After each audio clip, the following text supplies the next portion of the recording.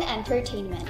Sky Cable's Evo Box is the latest product that lets you access over 190 channels, built-in streaming apps, and more than 5,000 downloadable apps and games. Get yours now at mysky.com.ph slash skyevo or visit the Sky Zones in Ayala Center and Gaisano Grand Mall, Lapu-Lapu.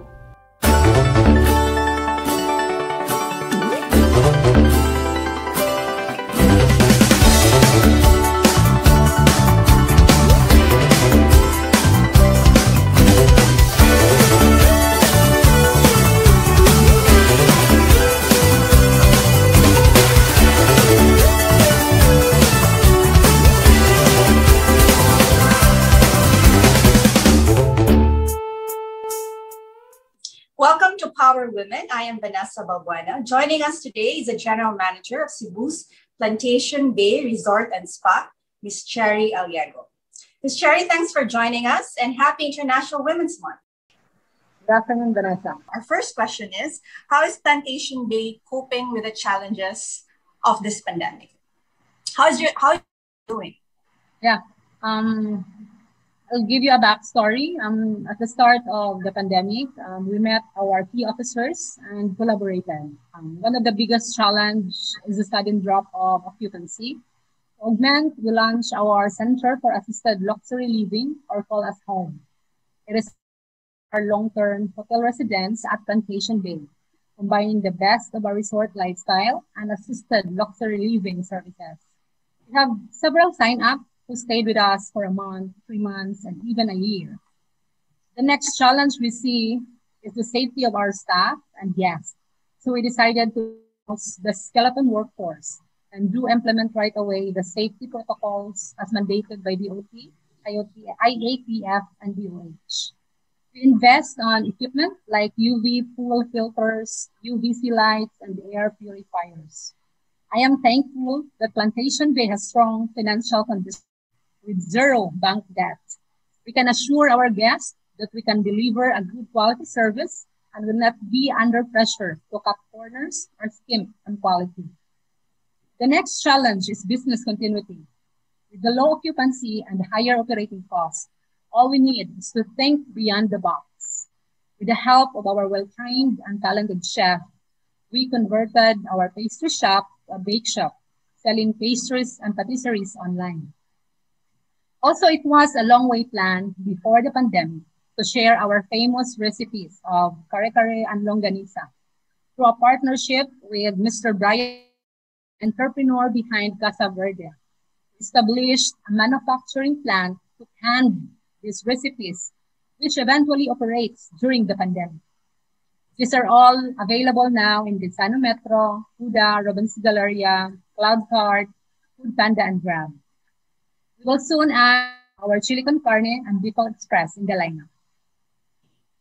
That's quite a long list, Miss. So that, that's great to hear how your um, resort has been adapting to this challenge. Now, my question, next question is, how is it to lead a top resort in Cebu amid, amid this challenge, very challenging time? I feel blessed, honestly, to have been given this opportunity. And I can't do it alone without the full support of my colleagues and the management what kind of leadership shall uh, your clients as well as your, employees uh, yeah. expect um, from I see myself doing more on the visionary and coaching kind of leadership, emphasize on the company's vision. We are all in the same direction, um, focusing on mentoring and training to develop and help our employees. How many employees do you have right now, Miss, at uh, Plantation? Currently, we have around 285. With uh, your decisions affecting um, a lot of people, a lot of employees under you, what do you consider when making tough decisions? Um,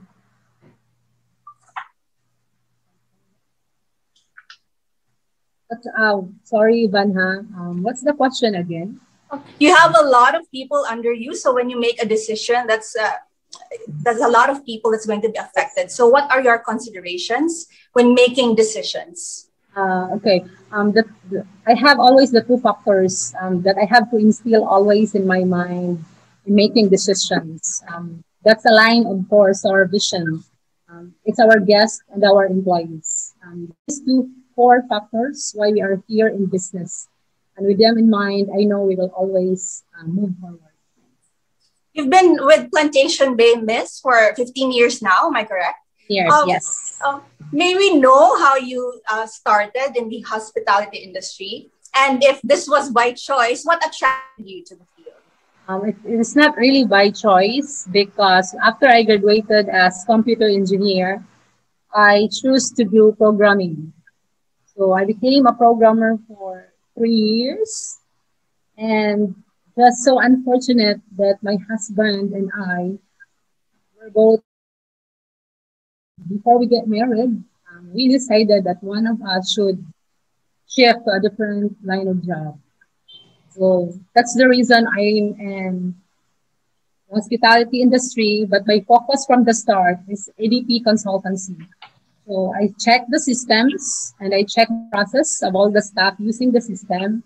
And if I could create a code that will somehow expedite their job task.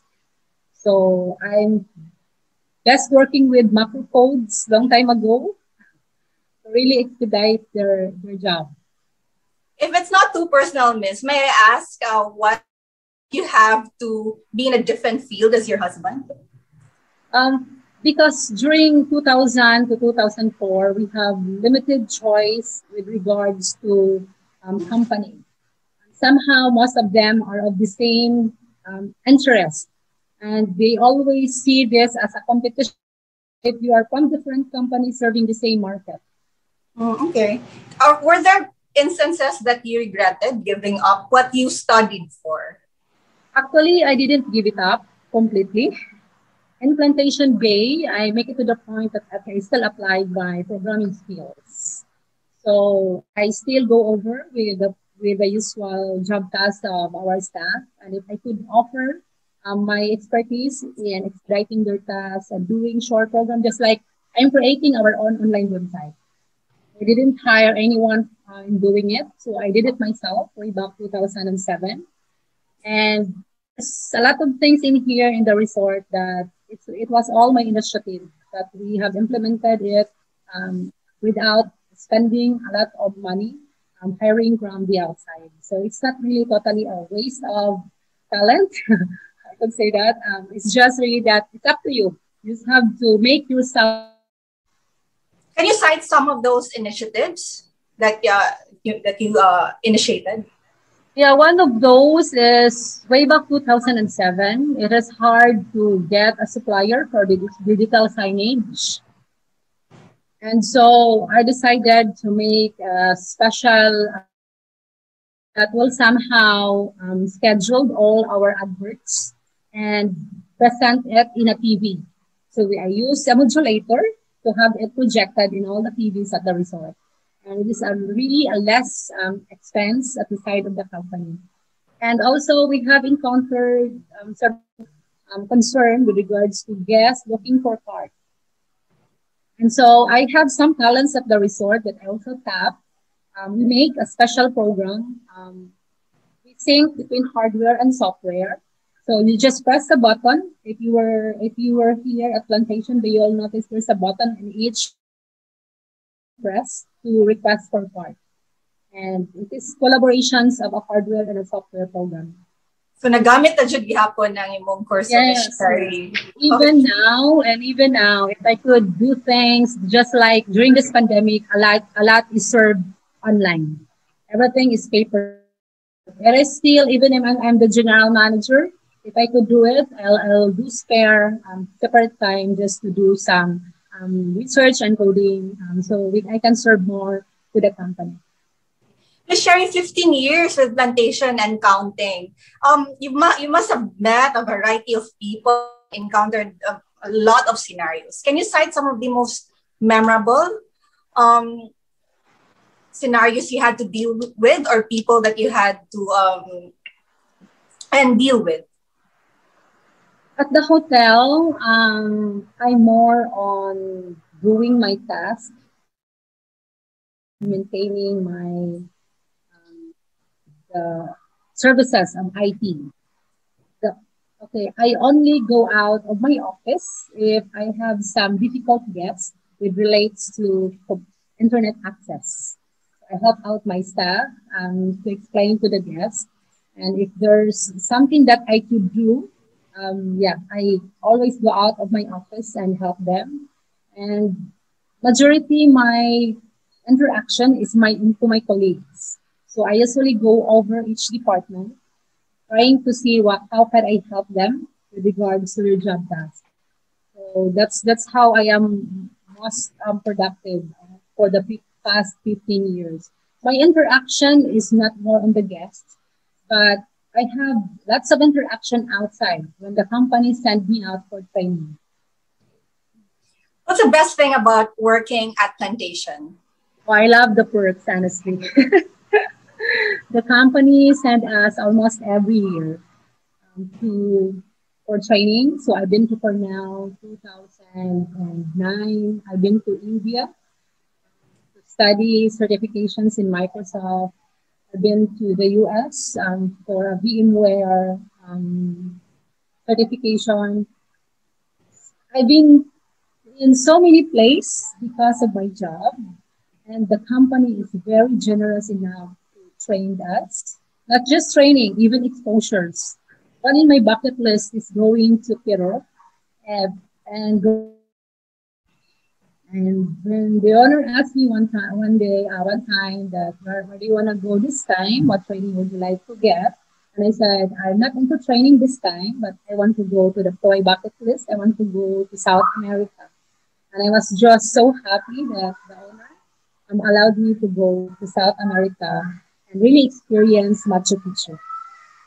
So the travel perks are one of the yes. attractions of your job. Now, it has been said, Ms. Sherry, that if you invest in women, you invest in the world. Is that a statement that you agree on? Yeah, definitely yes. Um, have undeniable transformative power. I could say that.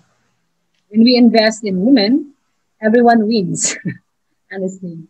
So the ripple effect is felt not only by these individual women, but also by their families, communities, countries, and ultimately the world with females like you occupying leadership positions, you know, we've come a long way from those times when women were not even allowed to go to school. Do you think things are much better now for women? Um, I think women nowadays are just motherly determined to make a difference in whatever we. You can see the passion, the consistency, and the courage at work that makes us stand out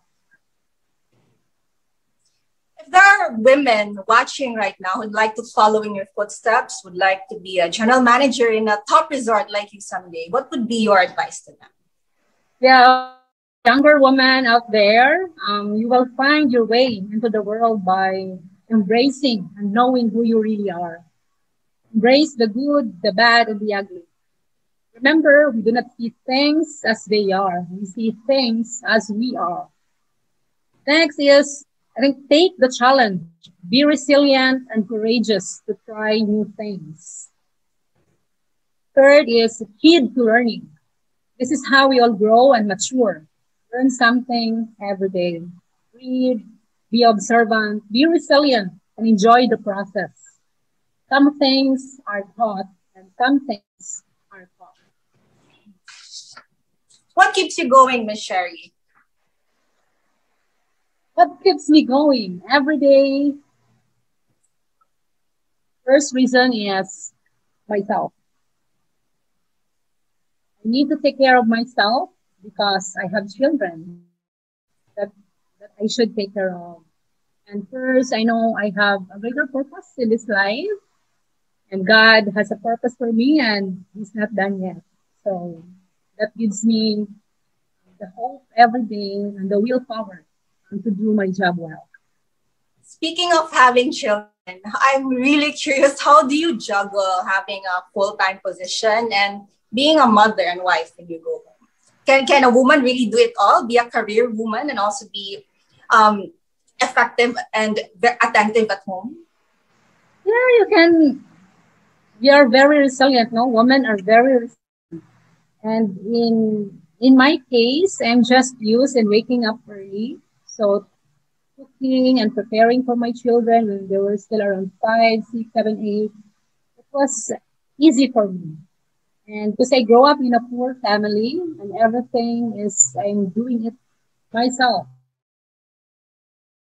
And my children now are 16, 14, and 9, so I don't have much of a problem. They can fend for themselves.